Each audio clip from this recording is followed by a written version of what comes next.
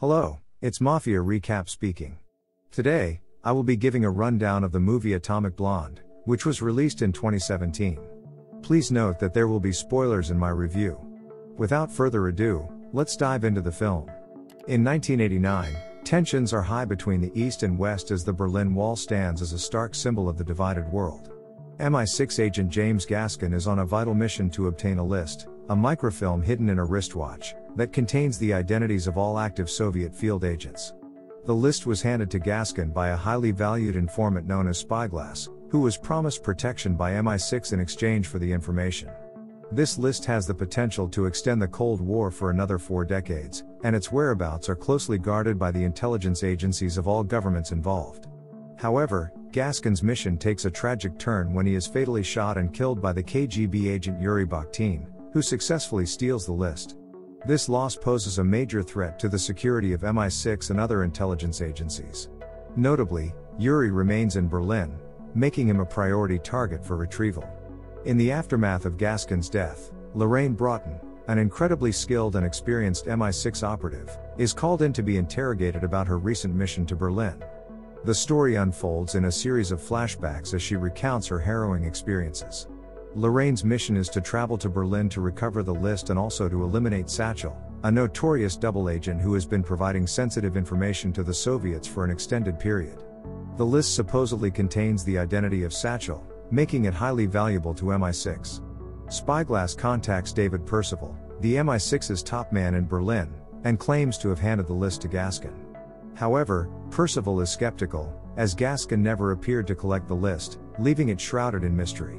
When Lorraine arrives in Berlin, she is immediately met with danger as KGB agents, under the command of Alexander Bremovych, an arms dealer and KGB associate, try to capture her. Fortunately, Lorraine manages to evade the ambush, thanks to the timely intervention of her main contact, David Percival. As she continues her investigation, Lorraine comes across Delphine Lasalle, a French agent who has been tracking her since she arrived in Berlin.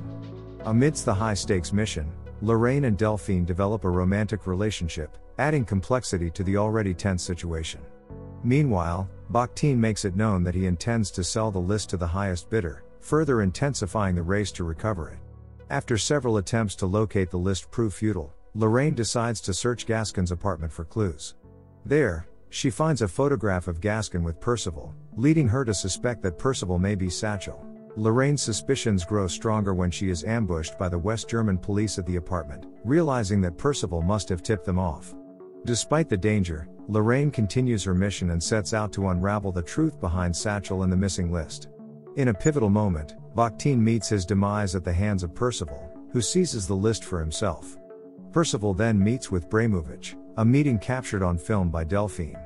When Lorraine is informed that Spyglass has memorized the list and wants to defect, she is infuriated that Percival kept this vital piece of information from her, as it would have changed her approach to the mission. As events unfold, Percival informs MI6 that he has the list and claims to know Satchel's identity, information that was concealed from Lorraine.